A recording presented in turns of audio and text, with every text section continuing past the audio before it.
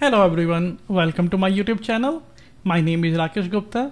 I'm a Salesforce MVP, author and blogger at automationchampion.com. I write blog posts and create videos on Salesforce Flow, Process Builder, Lightning Experience, Salesforce Release, Pardot and Apex. So if you want to learn this concept, please do subscribe my YouTube channel and visit my website automationchampion.com. In this video, I will show you how you can create a flow with time dependent action. This is a newly introduced feature in Spring 21. If you haven't get a chance to review Spring 21 release notes, you can find a comprehensive summary of the Spring 21 release on my website automationchampion.com. I will drop the blog post link in the description section of this video. Let's jump to the next slide agenda. So first we will discuss what is the blog uh, or video idea, why I created a video on this topic. Then we will discuss what are the few things you will understand or learn after watching this video. Then we will discuss the business use case. Then we will discuss what are the few things you have to understand before creating a flow for this scenario or this use case like process flow diagram, what object you are going to touch and other information. Then we will together develop this automation in Salesforce. Then we will test it and then summarize what are the few things you'll learn and how you're going to use this in upcoming flow which you're going to create maybe in the future. So blog idea. So first is how do you provide an ability to your user to auto follow new users in chatter like your company is using chatter for improve the collaboration now anytime a system administrator create a new user you want to provide an ability to your users so that they can opt in for auto follow new users so. And there is no out of the box feature for this one.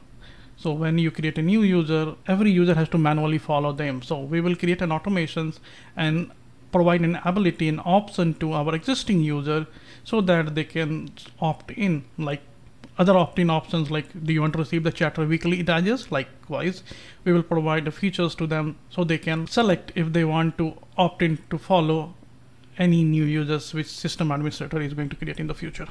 Objectives understand what is the DML operations and how you can avoid it, how you can add time dependent actions in after save record trigger flow, how do you use uh, loops to work with multiple records, then what is the bulk save flow and how you can create a flow which take mini DML operations and we'll show you how you can monitor the time-based flow queue.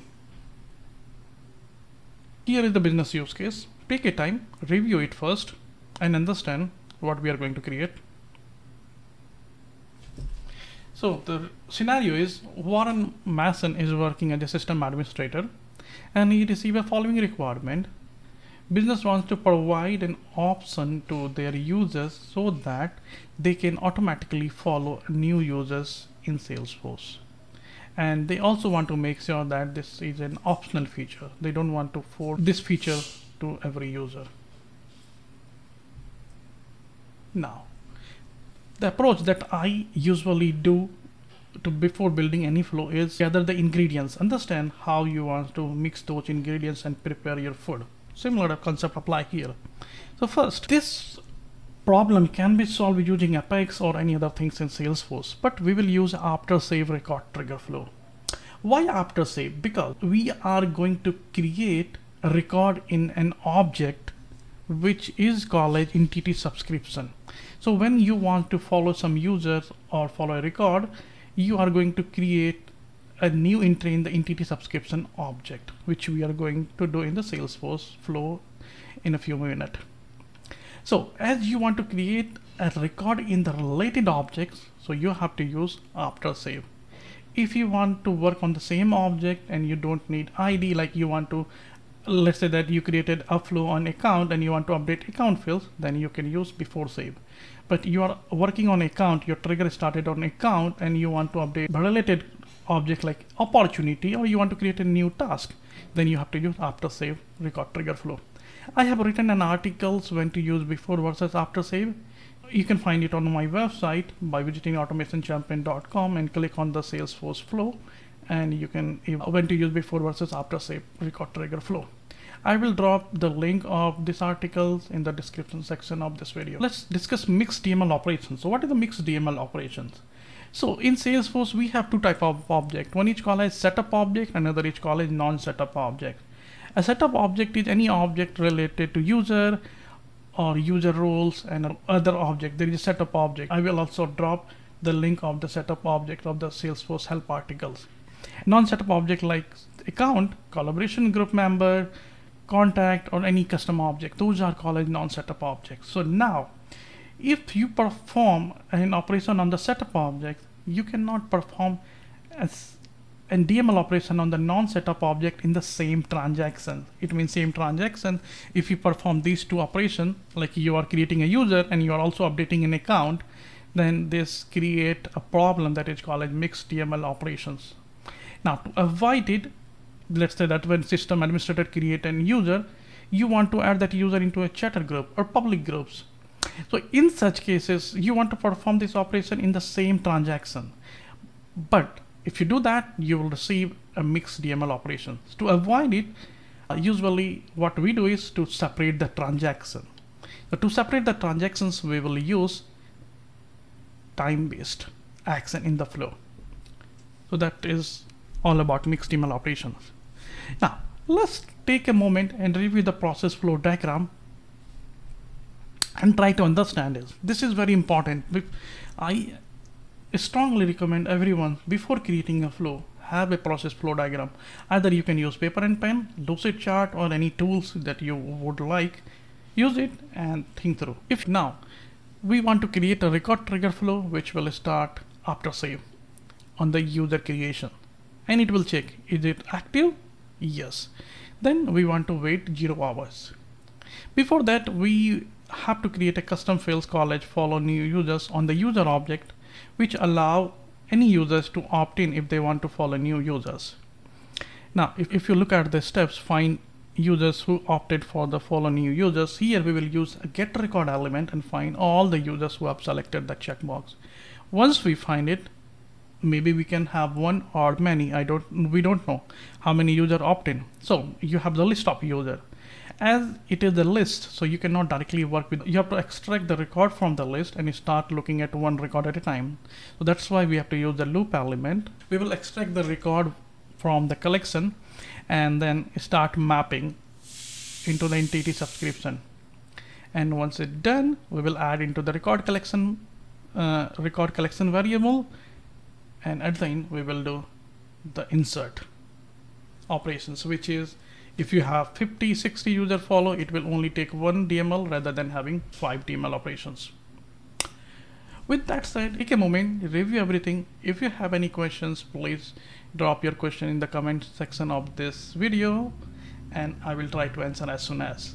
If not then let's jump into the Salesforce org and start building the automation. Alright, step in Salesforce is to create a checkbox field on user object which allow users to opt in if they want to follow new users. For that, in the quick find, type user and select the user object. Then go to the field and relationships. I already created the field in my org, but if you want, just select create a new field and select the checkbox type and make sure that you selected the field level security appropriately. I added this field for grant the field access to every profiles but feel free to modify it as per your business requirement and do write the help text so user can understand what is the purpose of this field. Once done, the next step is to select the follow new user checkbox for few users so that when we will test Salesforce find some users. For go to the user, edit the user record, and make sure that you select the follow new users. I already selected for a few users. That is the basic setup. Now the next step is to create a flow. To create a flow in the quick find type flows and look for flows and then click on the new flow button which allow you to select what type of flow you want to create. Is it a screen flow which allow you to take input from users and process it or is it a record trigger flow which fire on record create, edit or delete? Or is it a schedule trigger flow which automatically fire at a specified time? Or is it a platform event which execute when platform message is received or auto launch flow which you want to launch from a process builder, Apex or API. So in our case, it is the record trigger flow because we want to create an automations when user is created. So let's select the record trigger flow and click on the next. Then Salesforce allow you to select what kind of layout you want to use, a free form or auto layout. Auto layout has some advantage which automatically position all the element on the canvas and connect. Feel free to use one of them. I'm going to use free form. Next, you have to select the start element. So click on the edit and make sure that you selected right options here when you want to execute this flow. So in our case, when the user is created only on the creation, so select this. And when run the flow, so after record is saved, as we are going to insert a record in the entity subscription object. So select this option and click on the done. Now choose object, which object? So it means you have to select when the flow execute, which record you create. So flow will fire, for an example, does it fire on the account creations or opportunity creations? So in this case, it is the user. Do you have any filter conditions? Yes. So is it is active equals to true? We just want to make sure that user is active when it's created. Feel free to write any conditions here. Once done, the next step is add schedule path, which allow you to add a time dependent actions. Basically, you say, okay, I want to fire an actions after 10 days of opportunities close or after 10 days of user is created. You can do that by adding a schedule path here. To click on it, and then you can give the path name, which is I am going to write type add zero hour which field you want to use as a relative field so select created date and then offset is take the full number zero hours after created. So we say that wait zero hour after record is created. You can have as many as schedule path. I don't remember the limits on this one. Feel free to check Salesforce help articles for the limit number of schedule path you can add. So now you can say okay so let's say wait two hours for example. So you can you can have multiple options available. And that's either run immediately. So let's leave this here. It does not harm if you have multiple. Now the next step is we want to find all the users who opted to follow new users. So for that we will use get record element. Get record element is equivalent to SQL query in Apex. It allows you to write a query declaratively and Salesforce will find the record for you. So I am going to type find opted users as a label and which object? User object. What is the conditions? Condition is follow new follow new users fill equals to true and I am also going to type here ID does not equals to the user which system administrator just created just to make sure that Salesforce is not fetching the same ID because the I cannot follow myself on the chatter so it applied to this newly created user as well so he cannot follow himself on the chatter so for this was done how many record? Select all record because you don't know whether it is one record or multiple. It means might be possible there are only one users selected the checkbox or multiple. We don't know. So select all record. Once done, connect these two. So once you connect here, you will see a pop-up. So in this case, zero hours. But if you want to say, for an example, uh, I just copy paste here and you can say okay let's say that I want to fire this immediately and this after two hours yes that is possible but in our case this two does not make any sense. But if you have any requirement feel free to use. I'm going to delete this. So once you find the user the next step is to validate whether the get record element is able to find any users. For this, we will use decision element and give the label yes. Means the record collection variables is null false. It means if it's not null it means get record element was able to find the users. Next we will use the loop element. Why? Because loop element is used to extract the record from the collections. So this is the collections and once the record are in the collections, it is not possible to use those records. You have to extract them and then you can write your logic. So once you add the loop element, Salesforce will automatically create a record variable. So you can see current item from loop. Now once we have the record variables here, you can able to write your logic. Let's say that create element and say add followers. Now we don't have any record variables so I can select separate resources. Which object? Entity subscription. Now entity subscription take two parameters parent ID and subscriber ID parent ID to whom you want to follow which you will get it from the dollar record ID who is going to follow subscriber? So subscriber is current item dot id that's all. So this you can connect this loop here and loop back. So this is fastest way to do that but there is one problem here. This will work if you have record less than 150 in the loop. But what happen if you have more? Then it will create a problem because this create record file for each item in the loop so that is not a best practice. So try to avoid it, it if possible. So what are the other options?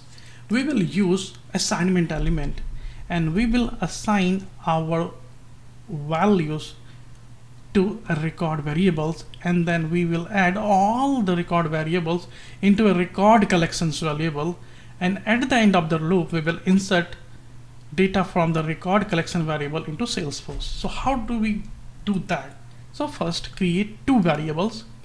One is called as record variables of type entity subscription. So you have to always create two variables in most of the scenarios. So variable entity entity subscription. So don't select multiple here. So this is the record variables which use to store only one record at a time. We will also create another variables of type entity subscription and select multiple values. So this is going to use to store multiple records.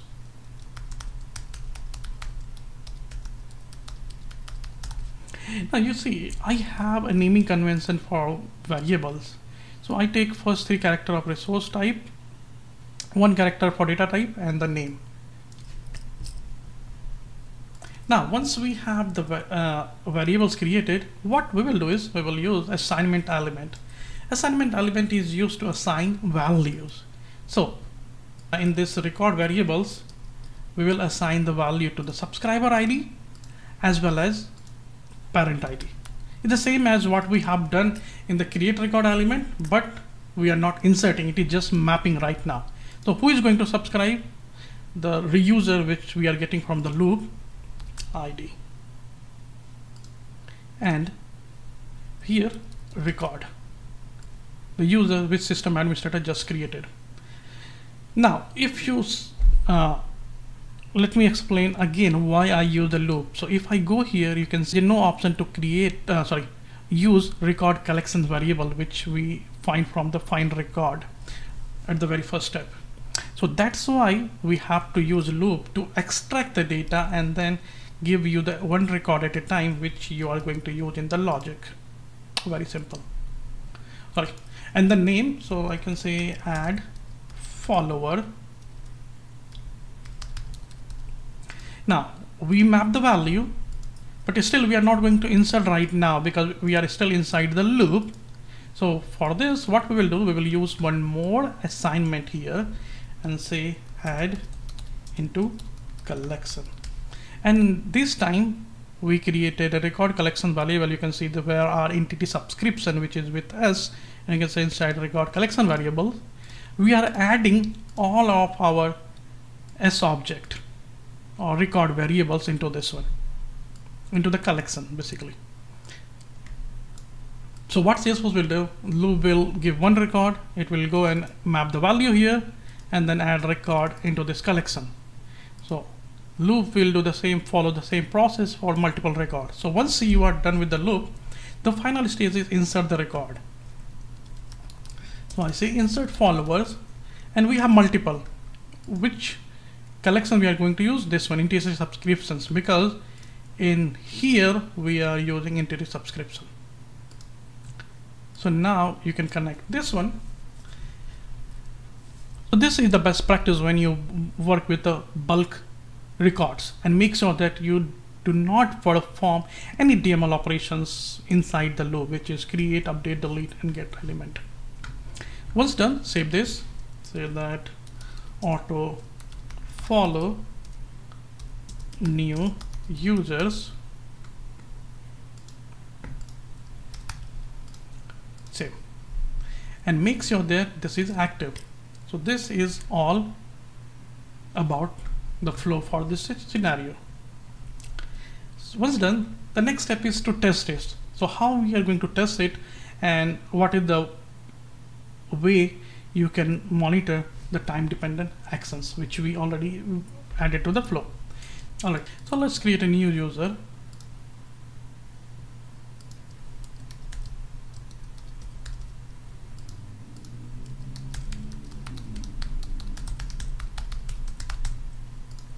and select the license type Salesforce platform. You can select any other license type and click on the save. Now quickly jump back to the time based workflow queue. Alright so you can see here the time based action.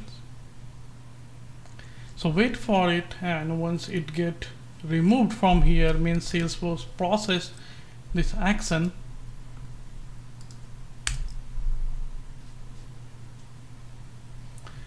Now go to the people tab in Salesforce and look for user Ram Singh. And once you see the followers there are three followers chatter expert Jason Smith and Rakesh Gupta. So that's all for the proof of concept. So what we learned today? First you can use time dependent actions to avoid mixed DML operation error in Salesforce. So, so you know what is the mixed DML operation now and how to avoid it. So if you want to separate the transaction, use time dependent action in the flow.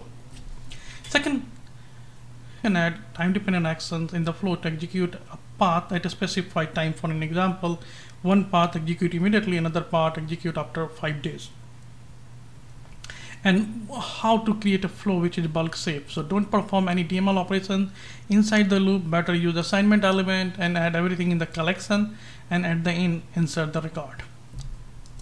With that said, thank you for watching this video. Please subscribe my YouTube channel, like this video and share this video.